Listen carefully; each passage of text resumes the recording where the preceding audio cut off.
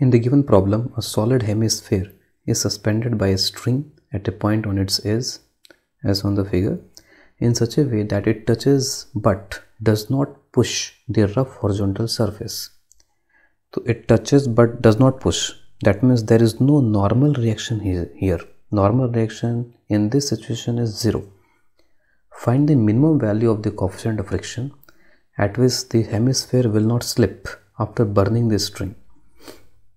So before burning this string, if you make the free body diagram, then there is no normal reaction here. The only forces are tension and mg passing through the center of mass. And center of mass for this uh, hemisphere is at a distance 3r by 8 from this center of curvature. The center of mass will be somewhere here. mg will pass through that point and tension. Tension and mg must balance each other. If I am drawing this, then center will be center of mass will be somewhere here. Let's say this is the geometrical center or center of curvature. So this is the center of mass and this is the direction of mg mg is acting like acting from this point. And tension it will act like this. Tension and mg must be along the same line. If these are not along the same line then there will be a net torque. So net torque and net force must be zero. For net force zero tension must be equal to mg for net torque zero tension and mg must be along the same line so that their torques are cancelled. Now when the string is burnt then tension will go. And when tension will go it will try to rotate like this. It will try to rotate in the clockwise direction. And due to this rotation there will be some normal reaction from here. And this normal reaction will pass through this center of curvature so this is the direction of normal reaction. It will tend to slip like this. So this point will tend to go in this direction. So we will have a friction force and friction will act like this. So there will be three forces normal friction and mg and it is given that it is not slipping friction is sufficient and we have to find the minimum value such that friction is sufficient for no slipping condition. This is the center of mass and distance of center of mass from this center of curvature this distance is let's say this point is C and distance from O to C is 3r by 8 if radius is r. So equations uh, we have to write will be one equation of torque and I'm I will take torque about center of mass because I will need a moment of inertia and moment of inertia about this axis will be somewhat easier. This will act as instantaneous center of rotation. I can also write the equation of torque about this point as this point has zero acceleration at at this moment there is no acceleration along this surface tangential acceleration and there is no centripetal acceleration of this point as velocity initially is zero. So this point has net acceleration zero at this point net velocity is equal to zero. This is instantaneous center of rotation. But when i write torque about this torque about this point then i will need moment of inertia about the axis passing from here and calculating i from uh, along this axis can be tedious. So I will take torque about this point center of mass. So one equation is torque about center of mass is equal to I about center of mass into alpha. For calculating torque, I will need the distance of uh, the line of action of normal from this center that means this distance and distance of line of action from this. That means C to this distance this total distance. Let us mark the points as let's say this point is M. And let us assume this point is P. I'm taking this angle as theta so this angle is also theta in this diagram. If this angle is theta then this angle is 90 minus theta and this angle is theta. So this distance as OC is known 3r by 8 so this distance will be this distance is C to M distance and this distance is 3r by 8 cos theta. I will calculate theta later on. Let us first write the expressions Cm is 3r by 8 cos theta and for calculating the torque of friction I will need this perpendicular distance. And this perpendicular distance is equal to distance of m2p so mp is equal to for calculating mp this will be equal to op minus om and this op is equal to this is o to p this is radius r. And this om will be since this is 3r by 8 this will be 3r by 8 sin so now the distances cm and mp in terms of radius and theta. Radius is known and theta is at this time this is unknown. Or we have to calculate the coefficient of friction as a numerical value. So this may get cancelled out later on. So we have to calculate theta somehow now taking torque. For taking torque now we know the distances cm and mp now we should first calculate the moment of inertia about center of mass also. We know the moment of inertia about this axis. If this would have been a complete solid sphere then moment of inertia about this axis is 2 by 5 mr square but it is cut symmetrically. This is solid hemisphere. The moment of inertia about this axis will be still 2 by 5 mr square. So moment of inertia about axis passing through o will be 2 by 5 mr square.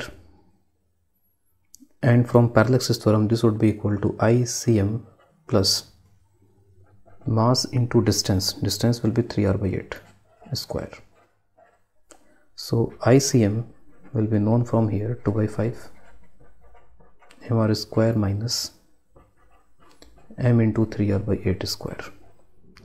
So we can calculate the moment of inertia about center of mass. Torque about center of mass. This is equal to the torque due to this normal. Torque due to normal will be in the clockwise direction and torque due to friction will be in the anti-clockwise direction. And I'm assuming the angular acceleration is alpha in the clockwise direction. So torque due to normal normal multiplied by the distance c to m. It will be 3 r by 8 cos theta minus friction multiplied by distance. So this distance r into 1 minus 3 by 8 sine theta and put this equal to ICM into alpha. Now we have uh, three variables here. One variable is friction, normal and alpha. Normal, friction and alpha. Normal and friction can be related. You have to find the minimum value of the coefficient of friction. So calculating minimum value for mu minimum calculation. We will take f as f limiting and this f limiting will be equal to mu n. So we can use this for friction and normal reaction f is equal to mu n. Now we have to write some equations for force is equal to mass into acceleration and acceleration we have to take of center of mass as I have said earlier that this body for this body we can take p as this p will be instantaneous center of rotation let us join p and c. Acceleration of center of mass can be written as alpha into r and r will be let's say distance from p to c. And this is the acceleration of center of mass. This is acm and this will be alpha into r. If this is instantaneous center of rotation and point p has no acceleration at this moment.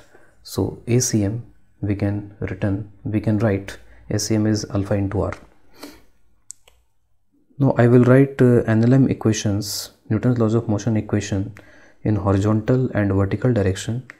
So we have to take the components of acceleration of center of mass in the horizontal and vertical direction.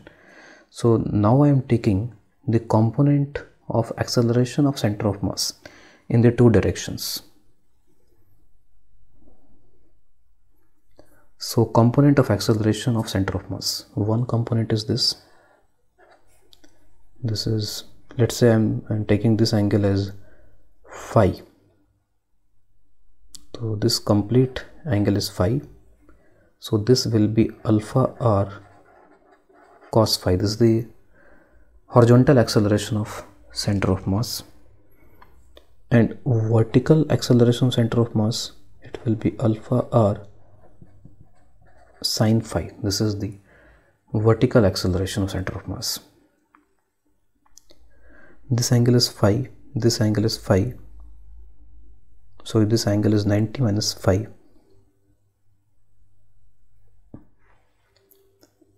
And again this angle is phi and this angle is also phi. This geometrical relations we will use later on. Now net force is equal to mass into acceleration center of mass. I am using this equation. And first i am using this equation along horizontal.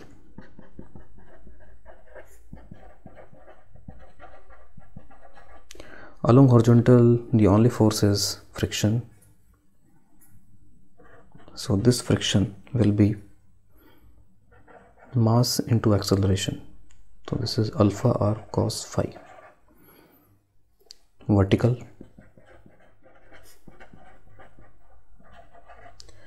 in vertical you have two forces mg and normal reaction. So this will be mg minus normal reaction. This is equal to mass and acceleration this.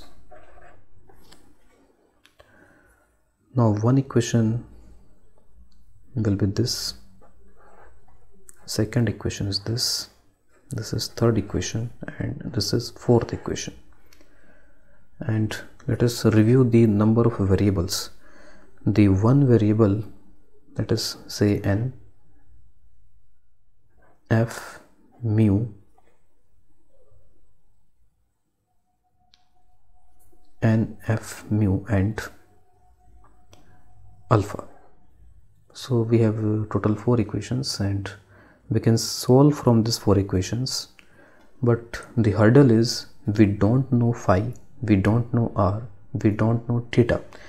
Let us first calculate this.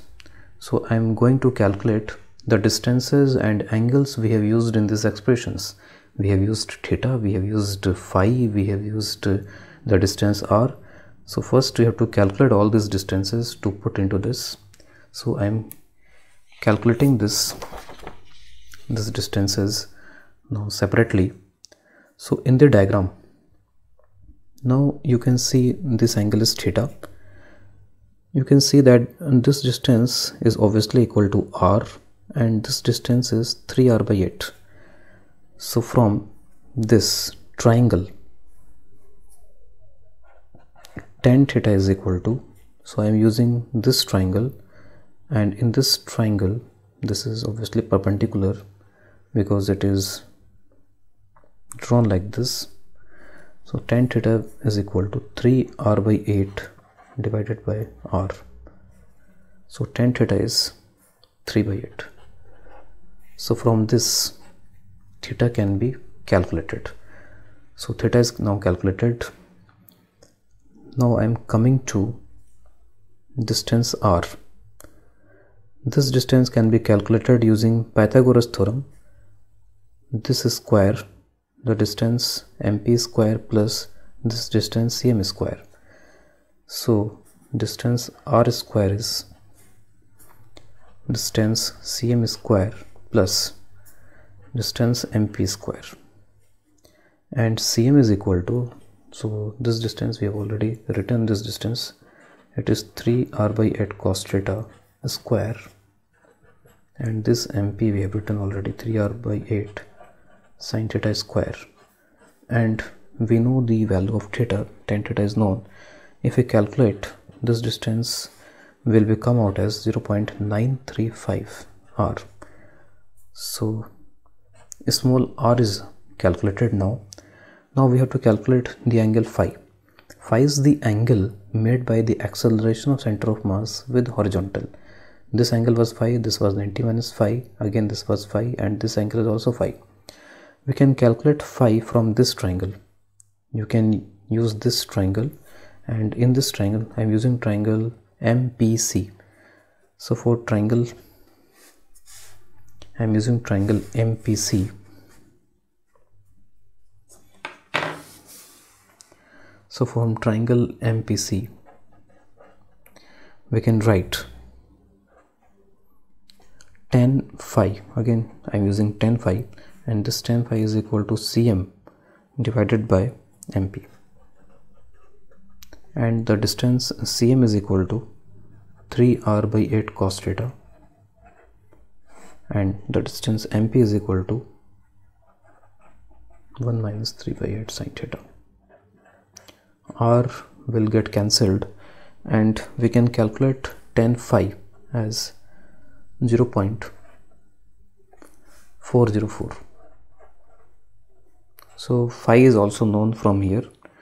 We can put all these values and we have to calculate we have to solve these uh, equations 1 2 3 and 4 and after solving all these equations and doing all this geometry we can finally find the answer of mu. And mu will come out as it is approximately 0.301 so this is the final answer to this problem